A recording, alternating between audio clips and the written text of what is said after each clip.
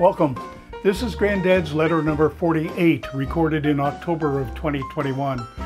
We've been exploring the history of the Roy Davis Tate family of Fabi Township, Marion County, Missouri, and the Tate home place dating from the 1850s and purchased by George Tate. Roy said that he was the last Tate born at the home place and that he thinks the family moved to the Palmer farm on the Bay de Charles Island when he was about 12 years old, establishing the date at around 1923. It was years later that he started revitalizing the home place cabin to use as a weekend getaway. During the Great Depression of the 30s, John Leffert, Roy's father in law, stayed for a time at the home place, and Roy's youngest son, Dennis, said that he added two rooms to the cabin. Tom Reddick's family later lived there while he worked for the WPA during the Depression. I mentioned earlier that those two room additions kind of came and went on the home place. Another revitalization effort got underway in the early 70s when Roy wanted to start spending more time there and needed to improve the cabin. A large bedroom was added to the two room cabin, which itself got significant repairs. And as I mentioned before, Roy, Charles Leffert, and Dennis Tate spent a lot of time and money improving the property with some financial contributions from other family members. In this 1939 snapshot of the Tate home place, there was tar paper roofing that was already in pretty bad shape, but it may have been added to serve as a wind blocker during those cold winter months. Pauline's youngest brother, Jimmy, lived with their father, John Wesley Leffert, a carpenter, in a house just a short walk down the dirt road from the home place.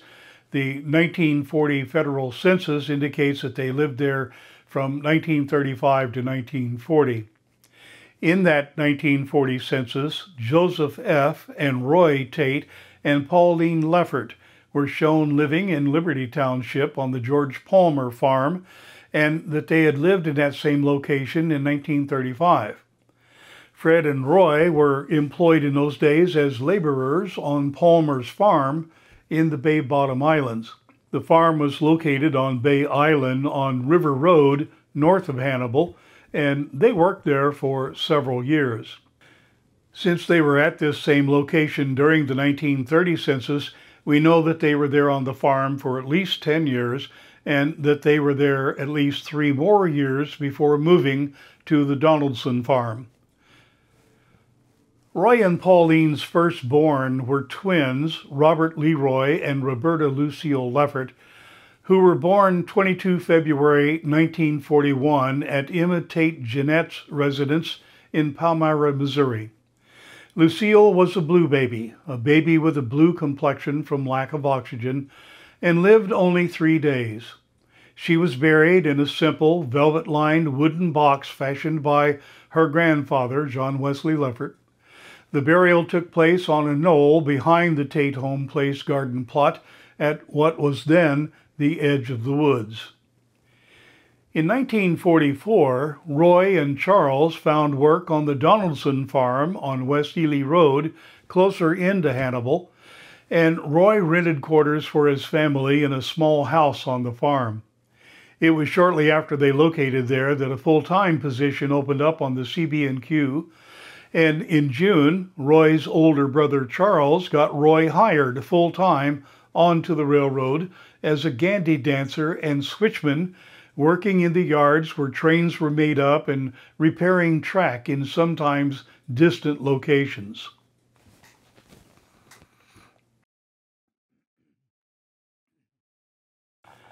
Roy moved to Hannibal near the CB&Q railroad yards where he would be working and rented a dry docked houseboat on the banks of Bear Creek at 609 Ely Street in Hannibal to serve as his residence. It was located across the street from relatives and was close enough he could walk to work. The houseboat was within hearing distance of the switchyards where Roy reported for work, and since he didn't want to learn to drive an automobile, he was able to walk, ride with other crew members, or take a taxi to work from this location. Shortly after moving to Hannibal, Roy's second son, James Wesley Tate, was born in August of 1944. In June of 1945, Roy's older brother Charles had become a section foreman and got Roy hired onto his track gang, which was dispatched out of It was so cold that night that his weather-toughened skin was numbed to the bone. He had already spent several hours building and maintaining small fires to free up the switch points and throw bars to melt the ice that gripped the switches and locked them into position throughout the yard, which prevented the makeup of trains.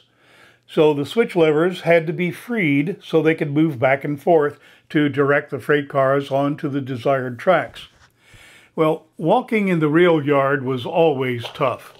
At night, it was even worse. Roy carried a kerosene-lighted switchman's lantern to illuminate his way.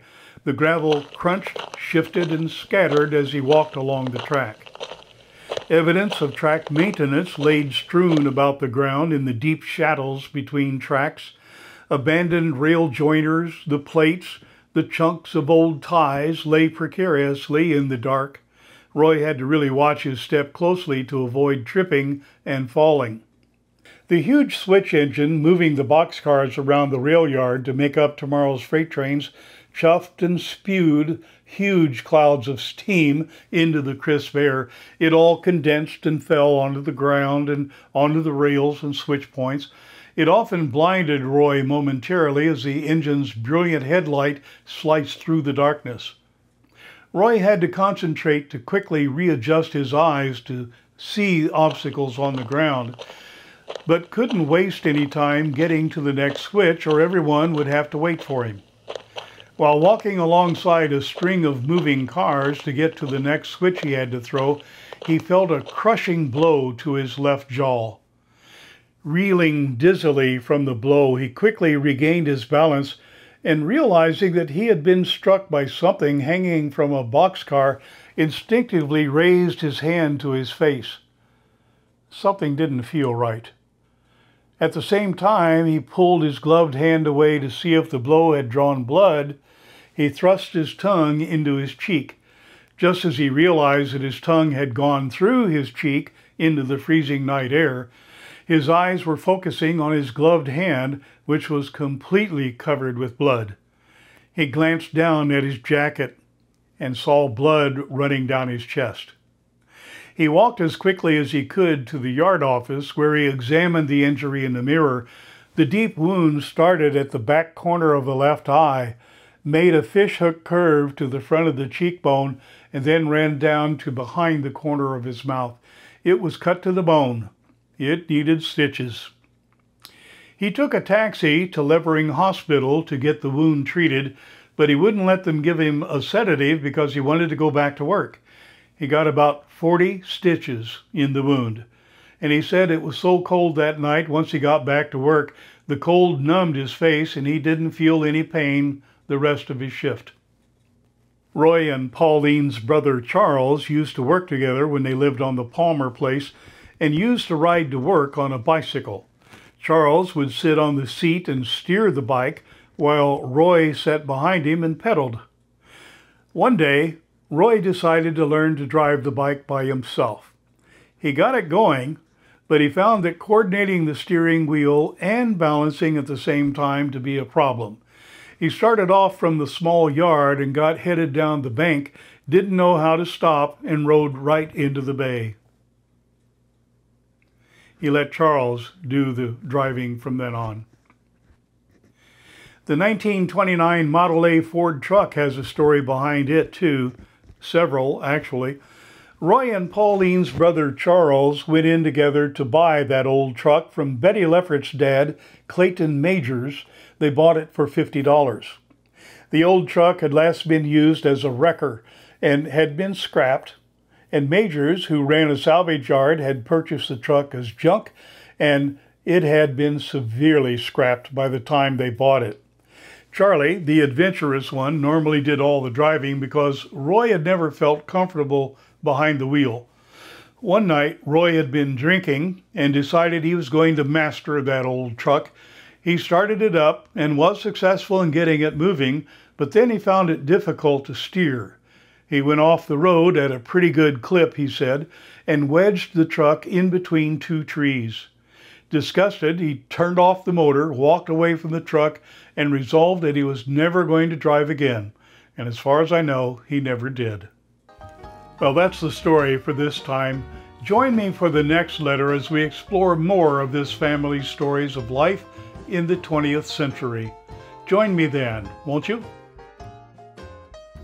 This has been Granddad's Letters, an often light-hearted and sometimes accurate look back at the life and times of me and my childhood sweetheart. This was what it was like to live in the last four decades of the 20th century and into the 21st. I hope you enjoy Behind Sight, and thanks for joining. See you next time.